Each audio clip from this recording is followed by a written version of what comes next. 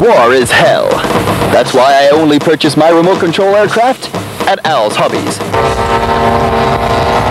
Yeah, yeah, Al's Hobbies is the only place to shop, whether you are planning world conquest or simply having a little fun defeating your enemies. Take that, you British pig! So take it from me.